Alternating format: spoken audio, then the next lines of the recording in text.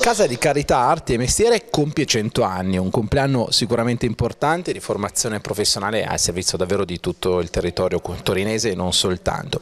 Presidente Attilio Bondone, 100 anni sono importanti perché c'è una storia che ha veramente plasmato questa città. Sì, diciamo di sì. Eh, L'attività di formazione professionale è nata negli anni 20 del secolo scorso era già a quell'epoca proprio focalizzata al territorio e ai bisogni del territorio.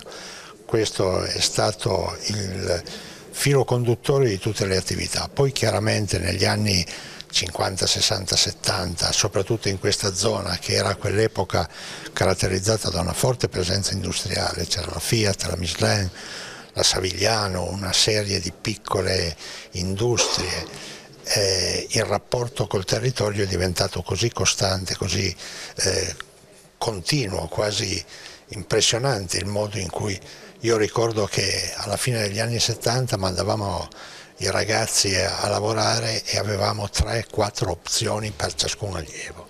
Erano i momenti veramente belli. Poi ovviamente ci sono stati anche periodi di crisi e adesso con rinnovata speranza partiamo per un nuovo secolo. E come trovi i ragazzi? I ragazzi sono cambiati moltissimo, però se si riesce a fare di, delle proposizioni che sono per loro interessanti, quei ragazzi ci stanno e riusciamo a fare tutto. Invece come trova Torino? Torino è diversa, è cambiata. Torino è una città che sta ripensando se stessa quello che mi chiedo è quanto questo ripensamento è approfondito, quanto si riesce davvero a ricostruire una vocazione autentica di imprenditorialità, di, di voglia di, di esserci, di, di, contare sul territorio nazionale.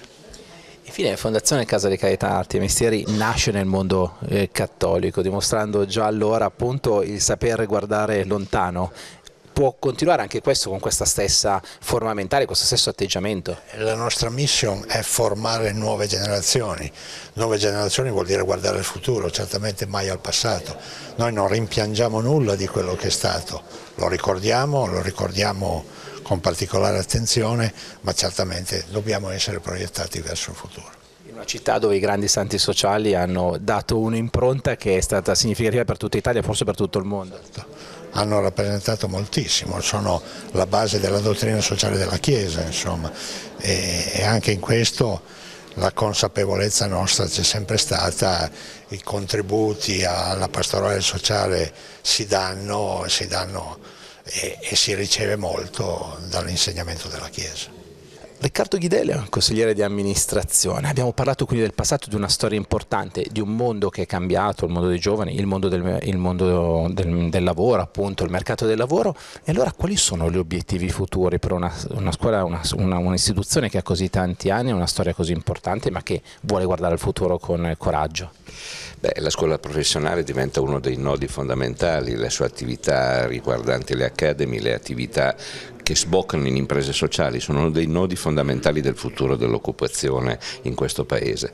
C'è un'importantissima necessità di creare figure che sotto il profilo artigianale, sotto il profilo esecutivo e anche sotto il profilo professionale, quindi con apertura allo scommettere su se stessi nell'attività professionale, dia al Paese competenze che sono una delle richieste più importanti del mercato del lavoro oggi.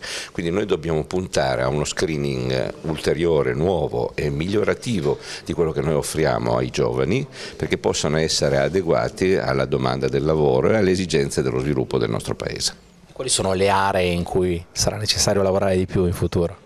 C'è sicuramente una storia in cui noi siamo eccellenza come Casa di Carità Arte e Mestieri, che è quella del mondo della metalmeccanica e di tutto quello che sta intorno. Però ci sono mondi nuovi, pensiamo ad esempio a tutto quello che c'è di digitale intorno alla rivoluzione che noi con Impresa 4.0, ma in generale nel mondo della digitalizzazione delle attività e dei servizi è necessario adeguare le attività anche del mondo esecutivo. E quindi tutto quello che è formazione professionale sul digitale deve trovarci adeguato adeguati, ma anche sui servizi, quindi stiamo riorganizzando rispetto a questi tre filoni le attività, ma sarà poi mandato del nuovo Consiglio con il Presidente che sarà nominato e col Direttore Generale che sarà nominato a dare poi un indirizzo specifico e una declinazione. Stiamo però orientandoci a essere assolutamente attuali. Ci sono anche nuove tecniche di insegnamento?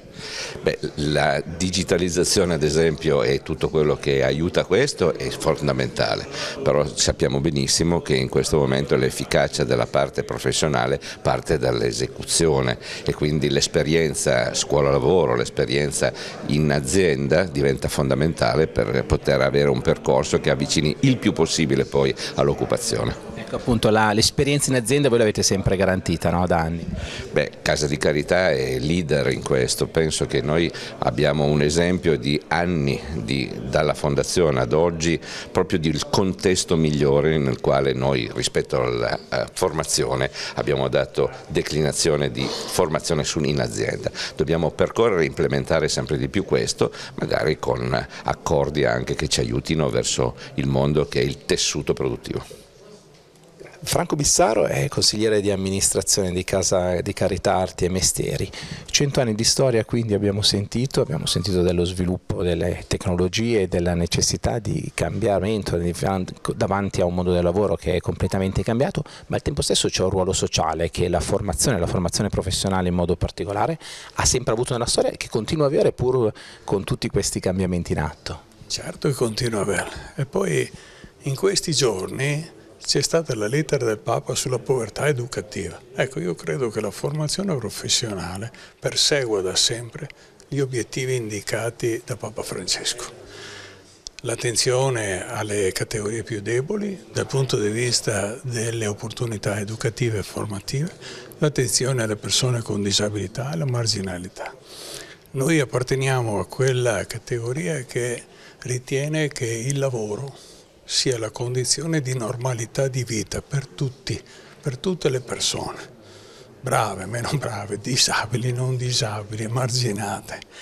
E la formazione professionale ha come obiettivo principale favorire la formazione per, una, per un ingresso nel, nel sistema del lavoro, nel cosiddetto mondo del lavoro, eh, il più eh, aperto a tutti. E negli ultimi tempi la formazione si è impegnata anche nell'ambito dei servizi per l'impiego, proprio per non mancare a, a, a questo compito eh, al termine dei percorsi formativi.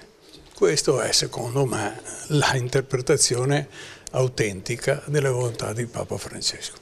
D'altra parte il lavoro un, un ruolo, ha un ruolo fondamentale nella pastorale sociale della Chiesa, ma un ruolo fondamentale anche per la nostra Costituzione. In questo caso stiamo andando veramente di pari passo. Certo, ma tutti gli enti che appartengono eh, che gestiscono formazione professionale che appartengono al mondo che, che rappresento anch'io all'interno del Consiglio di amministrazione di Casa di Carità, fanno riferimento alla dottrina sociale della Chiesa.